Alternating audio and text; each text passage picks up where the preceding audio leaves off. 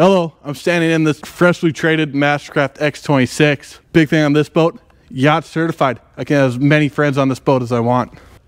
Lots and lots of room in the bow, come in the back. Couple things, I got Rudolph hanging out on this forward and reverse facing seat. I can flip it over and you can lay out facing backwards. This boat comes with a power tower, guys. Huge. Push a button, raises up and down. Multiple speakers, JL audio, big six, seven inch screen.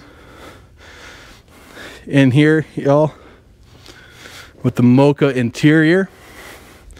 Coming in the back, convertible RS seat, transom walkthrough. It comes with the Mastercraft teak platform in here. Transom seats was very, very comfortable hanging out, watching out behind the water. Come check it out, McLaughlin's RV and Marine.